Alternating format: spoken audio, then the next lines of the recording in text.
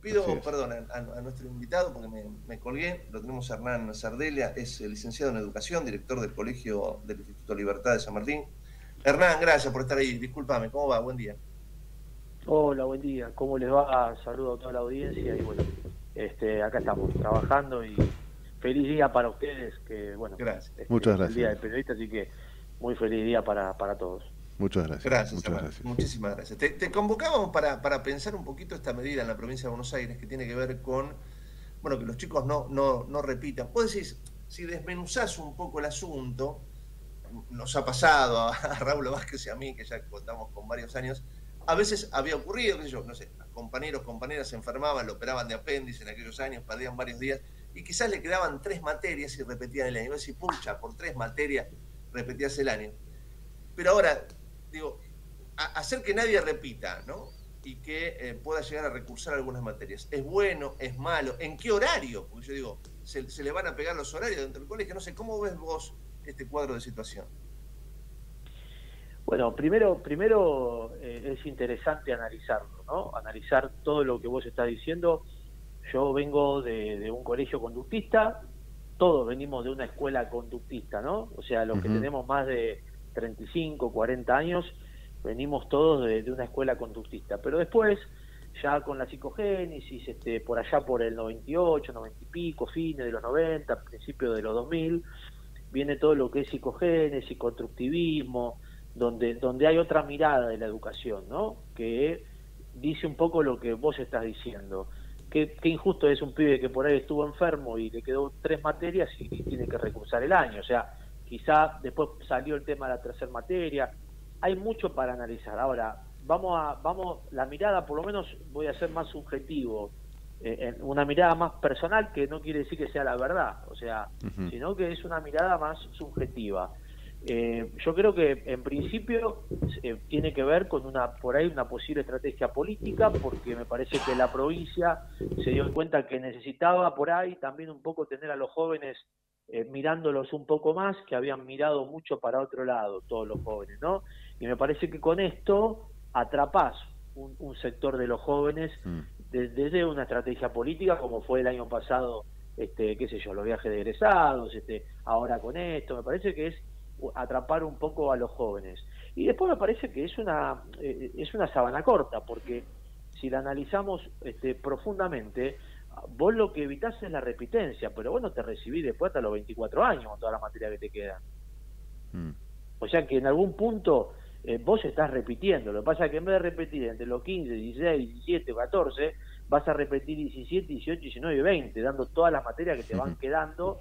Eh, ¿Se entiende lo que estoy diciendo? Sí, sí, está claro. En algún punto, en algún punto lo que se está este, haciendo es que no haya deserción. Entonces, el pibe no repite y se queda en la escuela. Ahora, el pibe no se recibe.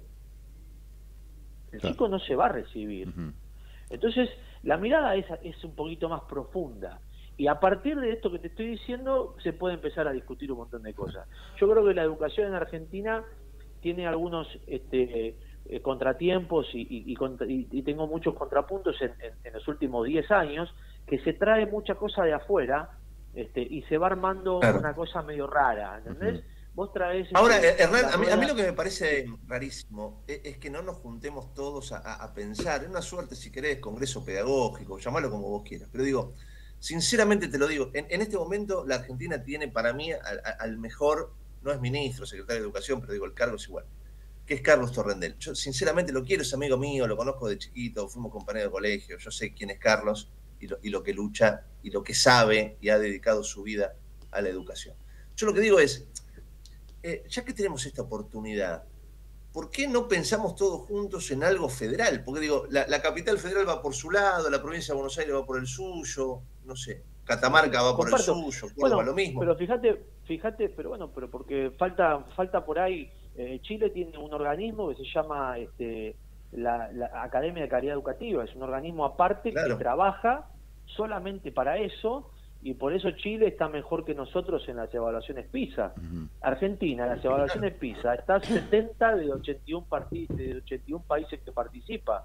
Y está número 69, 70, cuando Chile, que está, está en el 40 y pico, y tampoco está tan bien, pero fíjate que está en la mitad del pelotón para adelante. Hernán, digo, sí. Discúlpame, ¿cómo te va Raúl Vázquez? Te saluda. Vos sabés que, bueno, está claro, está claro que la educación ha, sufrido muchísimo en las últimas décadas y que eh, claramente lo que tenemos como expositores, que son los chicos, este, bueno, no, no, no, no debe ser novedad para vos que yo te diga que, no saben leer, que no comprenden textos y bueno, todo lo que, lo que ya sabemos. Eh, en algún punto algo hay que hacer, algo hay que hacer. Estamos viviendo ante un criterio educativo que ya tiene 100 años, esta idea de un tipo parado al lado de un pizarrón y 24 personas intentando entender, tal vez ha quedado ya en el tiempo. Yo creo que algo hay que hacer. Acá lo que se plantea en un punto, y me gustaría tu opinión, es eh, establecer la acreditación, si se quiere, de conocimientos por materia, un criterio similar, similar a lo que sucede en, en las universidades, ¿no? Y, en algún punto lo que dicen quienes plantean esta situación o esta solución es que, bueno, si vos ya diste matemática de segundo, no tenés por qué volver a cursarla cuando repetís el año, sino en todo caso tenés que repetir aquella materia en la que te fue mal. Y esto no es que repita, sino que básicamente no tenés que repetir lo que ya diste bien. Es un criterio que me parece lógico, digo. Y, mm, Totalmente. Y digo, bajo este planteo no es que no repetís más. En todo caso, lo que no recursás es lo que ya aprobaste. Y están planteando que la aprobación sea con un 7 y que no sea promediable. O sea, que no tenés que sacarte un 10 y un 4. No tenés que tener dos 7 como mínimo. Eso es mejor a simple vista, digo.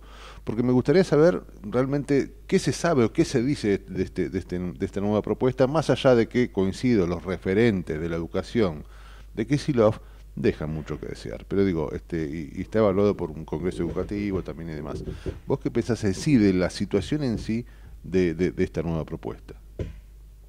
Bueno, yo vuelvo a lo que dije por ahí en la mitad de la charla.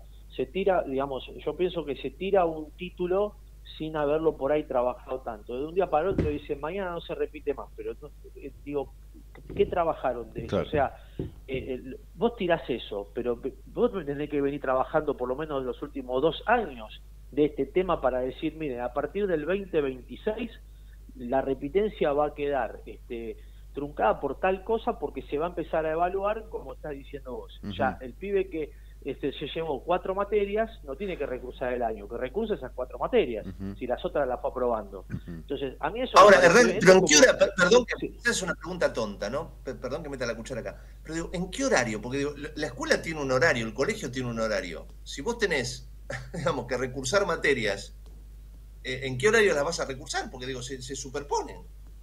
No, lo que, bueno, es, es la otra, es el otro punto que, que hay que ver, este, por eso te estoy diciendo esto que digo, este, cuánto se preparó esto, porque obviamente los chicos todos se van a todo diciembre, todo enero y todo febrero. O sea, lo que se está hablando acá es, mira, vas a venir todo diciembre, todo enero y todo febrero. Entonces ahí cuadra. Ahora, el pibe este, directamente va a vivir de enero a enero dentro de la escuela, o sea, porque eh, esto es así. Ponemos, ponemos como cuando eran eh, chicos nuestros padres que iban los sábados, pero digo, te van a decir, bueno, está bárbaro. Yo, creo, yo creo que esto, yo creo que esto, yo, pero no sé. Yo estoy como estoy como Guido Casca con esto, ¿viste? Está mal, pero no está tan mal. ¿Qué quiero decir con esto? ¿Qué quiero decir con esto? Yo lo que digo es, en la época de mi viejo, todo el mundo tenía la primaria completa. Mi viejo hoy tiene 74 años. Mi viejo la primaria la completó, hizo hasta séptimo grado. Todo el mundo tenía la, primaria completa. No había nadie que no tenía la primaria completa. Después nadie tenía la secundaria. Hoy tener la secundaria completa es como la primaria de los años 60. Claro. ¿Se entiende? Se está buscando que hoy todo tenga la secundaria completa. Esto es lo que se está buscando. El tema es a qué costo lo estamos buscando. ¿A qué costo lo estamos buscando? Porque después nos quejamos cuando un pibe va al CBC, que el año pasado en un CBC, este, no me acuerdo de qué carrera, pero había un 50% de los alumnos de 18 años que no sabían cuánto era un tercio de 600. Exacto. Pero eh, Hernán, a mí me, ha tocado, así, no, no ahora, hace ya unos años, ser profesor eh, en la facultad donde yo estudié periodismo. Y, yo me encontraba con chicos y chicas que me escribían ya en facultad de periodismo 15, 16 líneas sin un punto y aparte y con 73 falta de ortografía. O sea, eh, problemas básicos, problemas te diría de tercer, cuarto grado de la primaria. Sí, bueno, por eso, por eso lo que lo que yo digo es esto que, que empezamos un poco diciendo. eh, está mal, pero no tan mal. ¿Pero por qué no está mal? Porque no se, porque no se labura con profundidad y porque se está armando una especie de prototipo con ruedas de BM, carrocería de Fiat 600, la trompa del Rolls Royce y la cola del Ferrari. Pero, eh, ¿entendés lo que estamos armando? Es un prototipo raro, porque estamos trayendo pedacitos, entonces no profundizamos en nada. Porque si vos me preguntás a mí, ¿está mal? Eh, sí, pero no está tan mal.